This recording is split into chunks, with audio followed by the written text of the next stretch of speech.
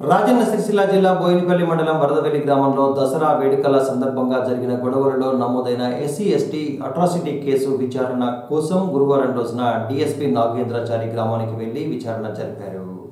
వరదపల్లి వరదవెల్లి గ్రామ సర్పంచ్ అయినటువంటి ఆర్ఏ లల్ ఆర్ఏపల్ ఆర్ఏ లత ఈమెను దసరా రోజు ఏకపక్షంగా దసరా పండుగ చేసిరని తర్వాత రెడ్డి క్యాస్ట్ వాళ్ళను పిలవలేదని చెప్పేసి యూత్ను విలువలేదు మమ్మల్ని విలువలేదని చెప్పేసి లత ఇంటి మీద దాడి చేసి ఆమె ఇంట్లోకి ప్రవేశించి ఆమెను ఆమె భర్తను కులం తక్కువ అని చెప్పేసి తిట్టడం వ్యక్తిగత దూషణ దిగడం కులం పేరు పెట్టి తిట్టడం జరిగింది.